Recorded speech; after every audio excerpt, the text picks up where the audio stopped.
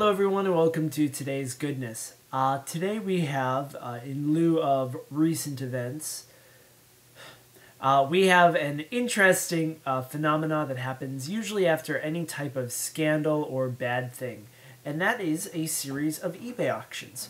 Uh, if you were to go on eBay.com right at this moment and type in Eliot Spitzer, uh, you're going to find some interesting auctions, uh, which will certainly uh, be more than enough goodness for one day.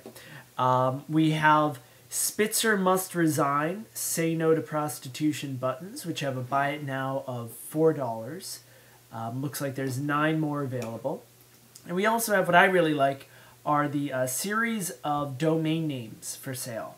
For instance, uh, you can purchase um, Impeach Eliot Spitzer. Uh, the current bid is 99 cents. Uh, acts quick though, it ends in seven days. Of course, he'll have resigned by the time the auction's over, but go figure. Uh, we also have Elliot9.com, uh, which has a low buy it now price of $500 uh, with a starting bid of 715 We have Spitzer number 9, of course, in reference to his client number 9 status.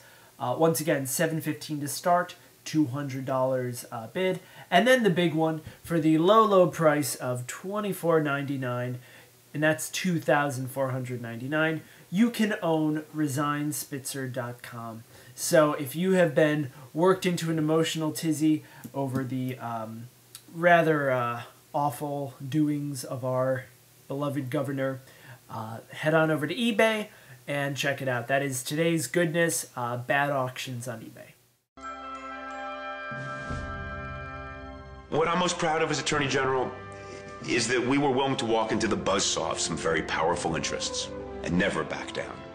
Look, I had a simple rule. I never asked if a case was popular or unpopular. Never asked if it was big or small. Hard or easy. I simply asked if it was right or wrong.